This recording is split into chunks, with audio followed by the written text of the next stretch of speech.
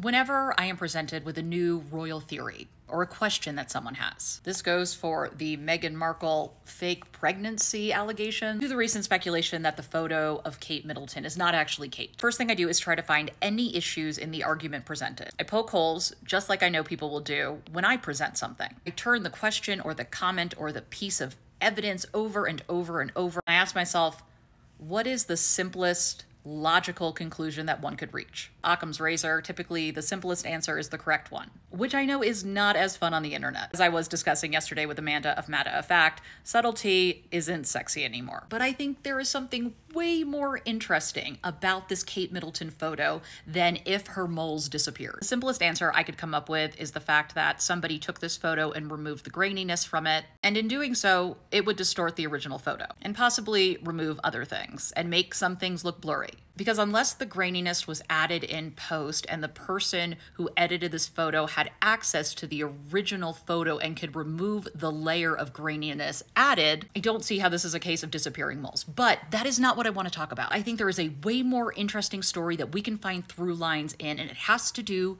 with privacy. One of the things that has been thrown my way is why would they do this through a US outlet? Why wouldn't the British media confirm it?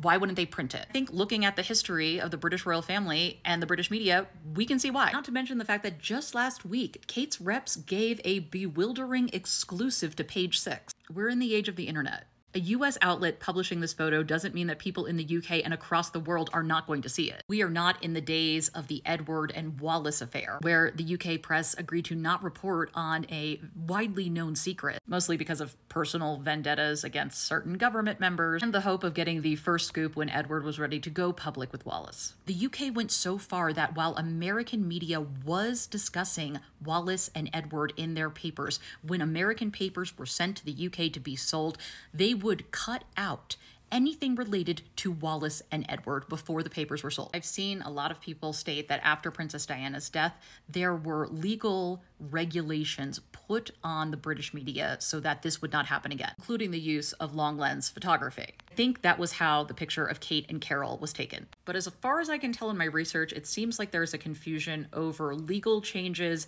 and changes that the press quickly acquiesced to so there wouldn't be further government interference in the press and so that they could retain their access to the British royal family. Sarah Ferguson was caught in the early 90s with her toes being suckled by someone who was not her husband, Prince Andrew, while on vacation using long lens photography. These pictures were published by the British media. I bring up this example because of what happened decades later when the French edition of Closer magazine published topless photos of Kate, on vacation with William. The palace sued the publisher for invasion of privacy, but notably, the photographs were not offered to UK outlets. In fact, it was only the week prior to this article being published that they were offered a different set of long lens shots, but they refused them. Perhaps the British media had a change of heart, although we have evidence to the contrary when it comes to Harry and Meghan. Or could it be that during this very same time, Leveson Inquiry was drafting their final report into media conduct and illegal information gathering tactics to then offer the government future regulations that could be implemented on the press, which the press wanted to ignore just like they wanted to ignore it after Diana died. Firmly into the crosshairs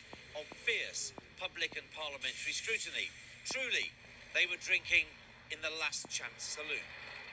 An emergency meeting of newspaper editors was called, and the rules of press engagement were hastily rewritten. Is referring to the Press Complaints Commission, the PCC, who at the time the public considered to be a self regulating body of the press, who, yes, edited their code of conduct, but it wasn't binding. It was just enough to escape real press overhaul by the government after Diana died. Recall, Leveson report was given to the prime minister at the time, conservative David Cameron, who was like, yeah, cool, we're just going to scrap this because things have changed. The world has changed. The media has changed. We are not facing the same concerns as we were in the late 90s, early aughts. I beg to differ.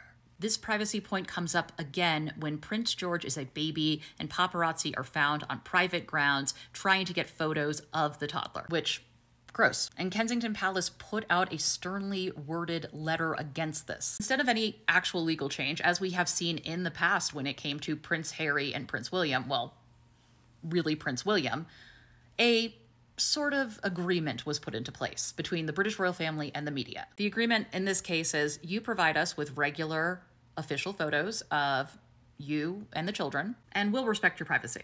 Which I still believe translates into we don't want to lose our access. But this arrangement would make our readers happy. Which brings us to the Turnip Toff rumors. I did a comprehensive video on this that you can find on my page. To be clear, my interest is not in if there was an affair or not. My interest is in how the media reacted. I know it's hard to read, but I did a timeline on this. Rumors of a rural rift bubble up in the Daily Mail and in The Sun, published at the time by Dan Wootton, who was the showbiz editor. I have a video on my Endgame playlist where I pull in what Omid Scobie has written about this. But here's the thing Us Weekly, an American tabloid, publishes news that there is an alleged affair that caused this rift between Kate and Rose. And the British media goes silent. Don't just go silent, they scrub any and all pieces related to this matter. Large part because Prince William's White Shoe law firm sent a letter stating that this was false speculation, but also a breach of his privacy pursuant to Article 8 of the European Convention of Human Rights, which people found interesting because why not go the libel route, besides not wanting a court case? This privacy argument seems to stop the British media in its tracks, dependent on who the royal in question is. Which brings us back to the photo. As of this recording, we have only heard that the UK media will not publish these photos and that Kensington Palace has reiterated for people to respect her privacy. And that brings up a